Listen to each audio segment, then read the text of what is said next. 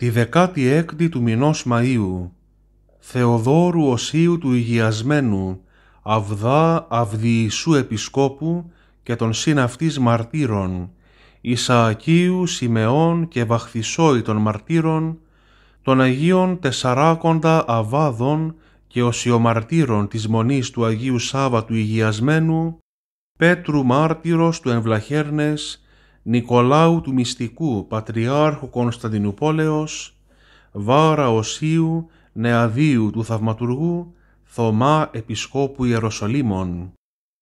Ο Όσιος Θεόδωρος ο Υγειασμένος, τέταρτος αιώνας μετά Χριστόν. Καταγόταν από τα μέρη της Αιγύπτου, από γονείς ευσεβεστάτους και πλουσίους. Ενώ ακόμη ήταν μικρός και ζούσε με τους γονείς του, υποβαλόταν σε άσκηση και ένιωθε ακατανίκητη έλξη προς τον μοναχικό βίο. Αναχώρησε και μετέβη στην ερημική τοποθεσία της Θηβαΐδος της Αιγύπτου, στον Νείλο ποταμό, κοντά στον μεγάλο ασκητή Όσιο Παχώμιο, του οποίου υπήρξε θαυμαστής και μιμητής των αρετών. Όταν η μητέρα του, αναζητώντας τον έφθασε στο μοναστήρι και του ζήτησε να επιστρέψει στο σπίτι, ο νεαρός τότε Θεόδωρος αρνήθηκε και η ίδια η μητέρα του προτίμησε να παραμείνει και εκείνη εκεί σε διπλανό γυναικείο μοναστήρι για να σώσει την ψυχή της. Μετά από την κοίμηση του Οσίου Παχωμίου, την φροντίδα και την διοίκηση των μοναστηριών και την καθοδήγηση των μοναχών ανέλαβε ο Θεόδωρος, ο οποίος συνέχισε το έργο του προκατόχου του, διδασκάλου του και συνασκητή. Με την άσκηση και την απάθεια έφτασε σε μέγα ύψος αρετής και αγιότητος, γι' αυτό και αξιώθηκε να λάβει την προσωνυμία του υγειασμένου.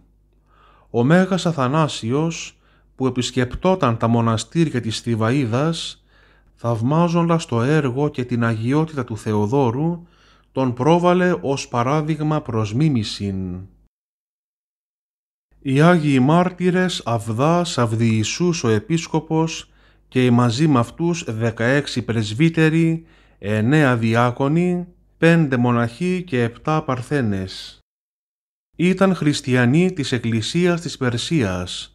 Ο Αυδιησούς επισκόπευε στην πόλη Βιθχασχάρ και καταγγέλθηκε από τον ίδιο τον ανιψιό του ότι αυτός και ο Αυδάς καθώς και άλλοι 38 χριστιανοί διέβαλαν το περσικό θρήσκευμα προκειμένου να προσιλητίζουν προς τον Ιησού Χριστό. Ανακρινόμενοι αυτοί δεν αρνήθηκαν ότι διδάσκουν τον Λόγο του Θεού και το θεωρούσαν μάλιστα καθήκον τους να αποσπούν ανθρώπους από τα δίχτυα της πλάνης με τον θεμητό τρόπο της διδασκαλίας. Τότε ο Αρσίθ, ο αδερφός του βασιλέως, διέταξε και τους έδεσαν με σχοινιά σφιχτά τόσο ώστε να σπάσουν τα κόκαλά τους. Αυτό συνεχίστηκε για επτά ημέρες. Τότε ο Αρσίθ νόμισε ότι το θάρρος τους θα είχε πέσει και τους προσκάλεσε να φάγουν ειδωλόθητα.